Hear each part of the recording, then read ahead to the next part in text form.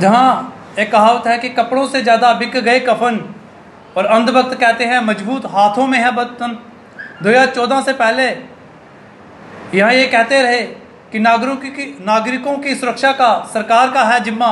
2022 पहुँचते पहुँचते देश को पता चल गया कि सरकार का नेतृत्व करने वाला ही निकला निकम्मा।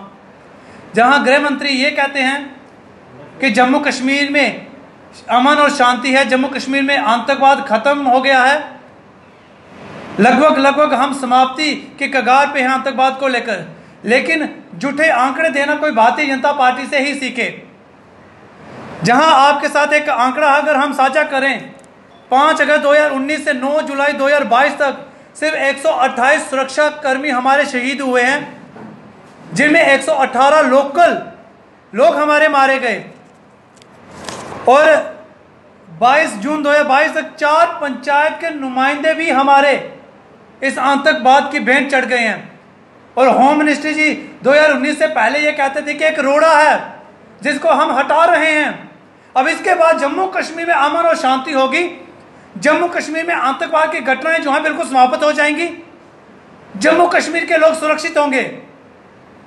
लेकिन इसके विपरीत, जम्मू कश्मीर के अंदर आतंकवाद कश्मीरी पंडित को टारगेटिंग किलिंग करता है। दिहाड़ी लगाने वाले मजदूर को किलिंग करता है, दुकान पे बैठे दुकानदार की किलिंग करता है और सरकार सुरक्षा देने में नाकाम साबित होती है। इसी सरकार का दिया हुआ आंकड़ा है पार्लियामेंट में, जहाँ राज्यसभा में आपके मंत्री ये कहते हैं कि 2019 के बाद कोई भी पलायन कश्मीरी पंडित का नहीं हुआ।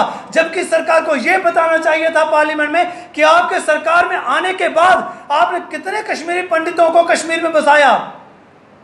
जो अपने खेत में खेती कर रहा है, जो अपनी दुकान पे जाके है, जो अपने जलाए हुए घर का निर्माण करके वापस उस घर में है। लेकिन ये कहते हैं कि 2019 के बाद कोई पलायन ही नहीं हुआ, बल्कि जो पलायन 1990 में हुआ था, सरकार ने पार्लियामेंट के अंदर भी झूठ बोला।